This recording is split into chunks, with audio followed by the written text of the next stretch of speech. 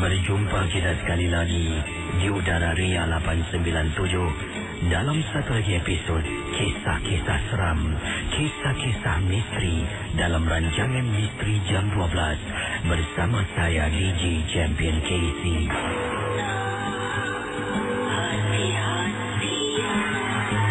Saudara, sebelum kita mulakan dengan kisah-kisah pada tengah malam ini, di sini Casey ingin mengingatkan anda semua Janganlah mudah kita percaya kita terikut-ikut dengan apa yang diketengahkan dalam rancangan Misteri Jam 12. Ingatlah, setiap kisah harus kita anggap sebagai satu hiburan saja. Anggaplah mendengar MJ12 ibarat anda menonton filem-filem seram. Jam 12. Rakan-rakan MJ12, kita pernah dengar orang kena rasuk, kena sampuk dan mungkin ada pernah dengar sampukan Pontianak. Ada juga pernah dengar terkena rasukan nenek kebayan. Tapi kali ini, saya ingin bercerita pada anda sampukan rasukan yang terkena, yang terkena pada seorang pendengar yang menyampaikan kisah ini. Bukan beliau yang kena rasuk, tetapi anaknya yang terkena rasukan ini. Dalam kiriman tajuk email yang dikirimkan pada saya, rasukan hantu pocong. Akan saya sentuh kisah ini sebentar nanti kepada anda semua. Dalam rumah berlaku perkara ini, tidak ada nampak hantu, tidak ada dengar apa-apa yang menakutkan, tetapi satu perbuatan yang membuat dia takut.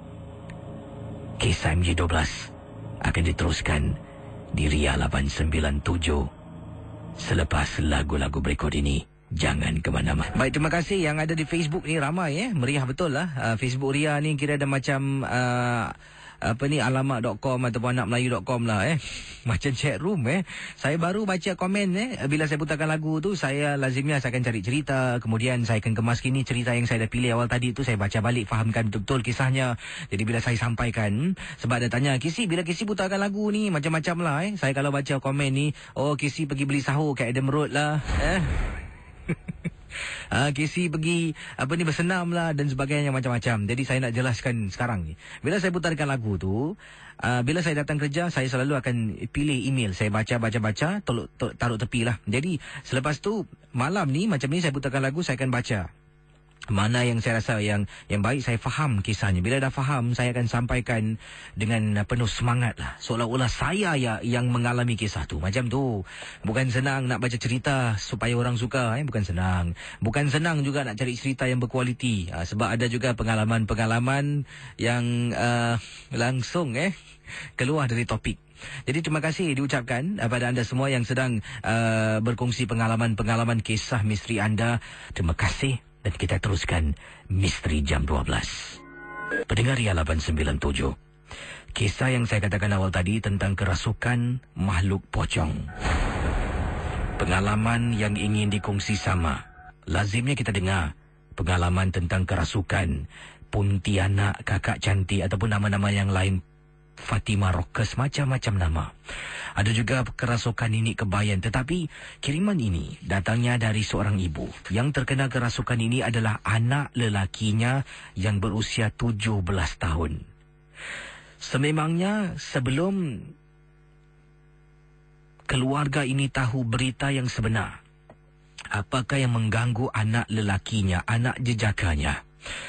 Anaknya katanya uh, Kak Salmi sering kali memberitahu ibu sebab anak ni, anak kakak rapat sangat dengan kakak. Apa jua masalah dia akan kongsi pada kakak, tidak pada bapaknya. Jadi kakak mendengar. Beberapa hari sebelum kita ketahui sebenarnya apa yang berlaku pada anak. Dia mengatakan yang dia sering kali migraine, pening kepala. Kadang-kadang kisi, dia duduk dalam bilik akan dengar.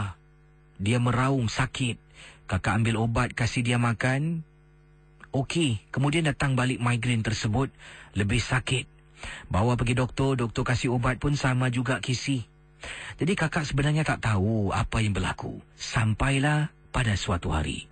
Keluarga kakak ni kisi, kalau suami ada masalah pang, katanya kakak eh, Kak Salmi ini, kalau suami ada masalah pang, dia tidak bertugas.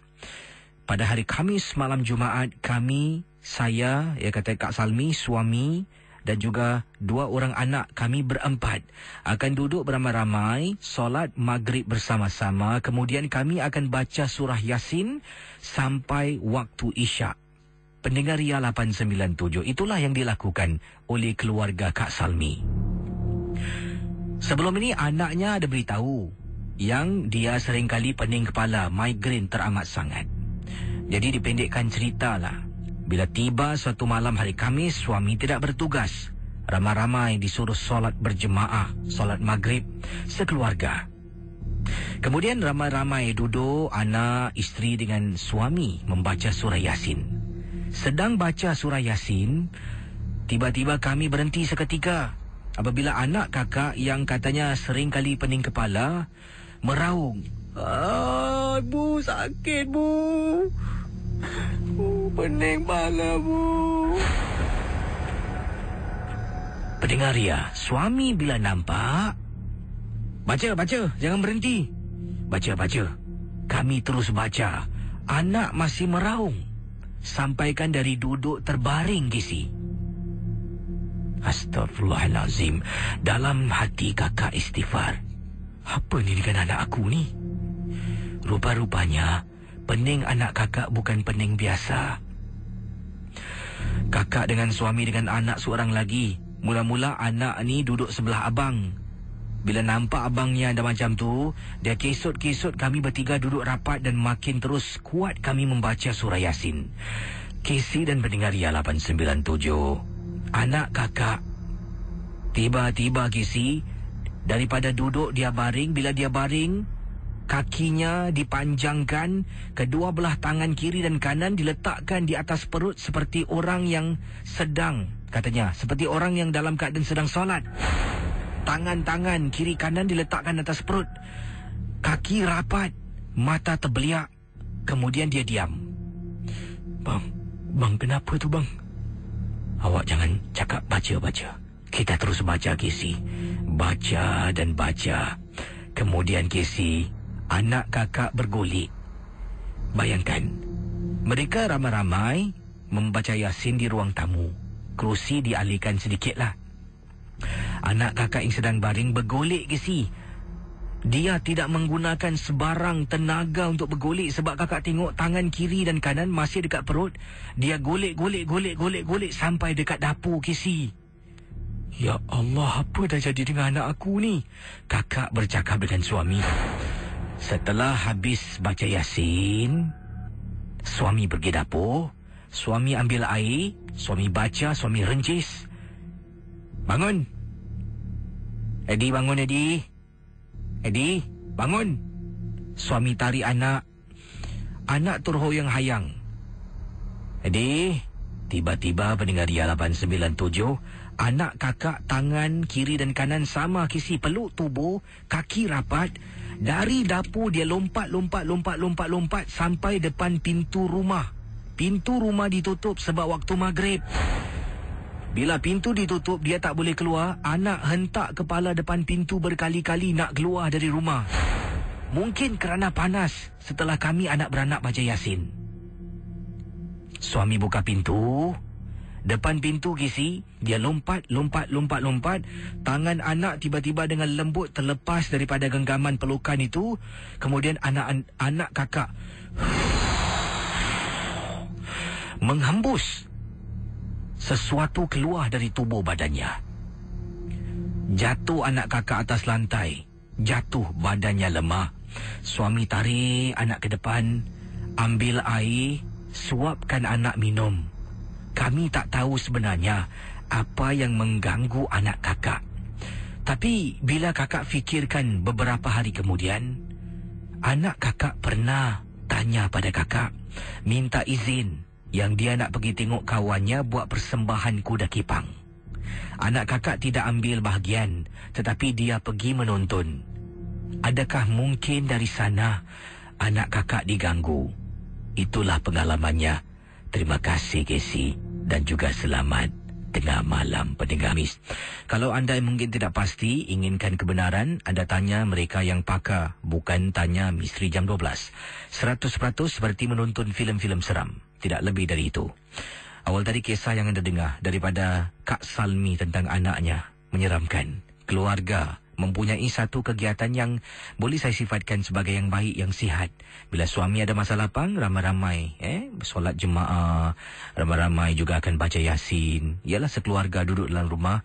Dari situlah dapat tahu yang anaknya sebenarnya bukan pening-pening biasa. Bayangkan, pergi doktor beberapa kali masih tetap pening. Selepas baca yasin beramai-ramai, barulah dapat tahu kisah yang sebenar. Bagaimana dengan kisah tadi? Anak boleh golek sampai dapur bila bapak tarik dia berdiri tegak, lompat sampai depan pintu, hentak kepala beberapa kali kerana mungkin kepanasan duduk dalam rumah yang keluarganya membaca Yasin.